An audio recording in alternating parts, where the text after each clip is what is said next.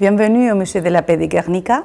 La mairie de Guernica ouvre ce musée historique en 1998 et à partir de 2002, c'est une fondation avec des différents mécènes qui participent dans ce musée, comme c'est la mairie de Guernica, le Conseil général de Vizcaya et le gouvernement basque. Ce musée va vous faire réfléchir sur trois questions. Qu'est-ce que c'est la paix? Qu'est-ce qui s'est passé à Guernica pendant euh, la guerre civile et les bombardements? Et qu'est-ce qui se passe aujourd'hui dans le monde avec euh, la paix et les droits de l'homme? Euh, ce musée offre des différents services, comme c'est un centre de documentation spécialisé dans les bombardements de Guernica et la guerre civile espagnole, des visites guidées en quatre langues et aussi un service éducatif.